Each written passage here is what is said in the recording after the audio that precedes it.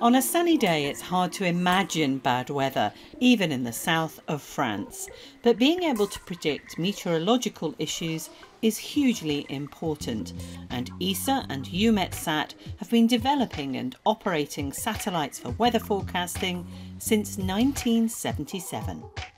All sorts of spacecraft are built here at Thales Alenia Space in Cannes, covering missions ranging from the Earth to Mars. And one of the latest spacecraft that they're building, the Meteosat third generation imager, is going to help ensure improved weather forecasting in Europe for the next 20 years. The first Meteosat third generation imager, or MTGI 1, is the first of six advanced satellites to launch. The full mission comprises two different types of satellite, imagers and sounders. They'll operate in a fleet of three, two imagers and one sounder, in geostationary orbit.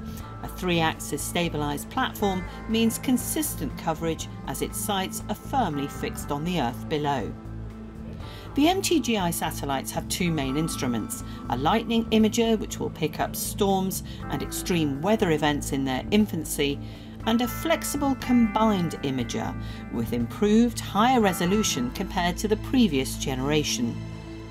FCI, which is the Flexible Combined Imager, is a natural progression of what we've been doing. It will give continuation of data. The Lightning Imager is a step change for Europe. We've never had one before.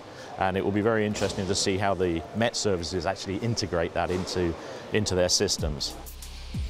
EUMETSAT, the organisation that operates Europe's meteorological satellites, has been leading consultations with its data users to ensure this new mission responds to forecasters' needs.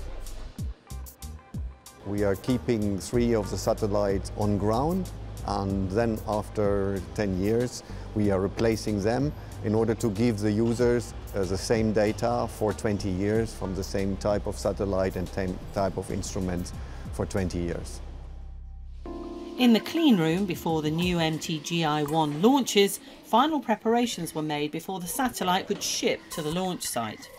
The spacecraft was tested within the extreme temperature range of space using this enormous vacuum chamber. Here, the satellite was equipped with its solar panels. The first of two MTGIs in the fleet will scan the Earth's disk every 10 minutes.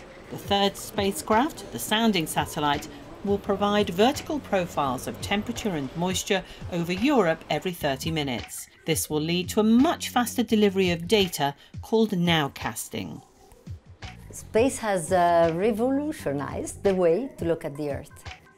Nowcasting uh, means that you can have uh, basically in real time or semi-real time information about the weather forecast. And on top of that, not only is more accurate, it's immediate, but it allows to uh, have information which are uh, much more important on uh, extreme weather events related activities like uh, thunderstorms.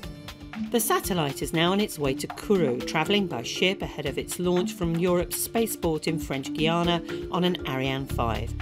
And for the civil aviation industry or those at sea, or the many affected by extreme events, Meteosat third generation satellites will not just improve forecasts, they'll undoubtedly save lives.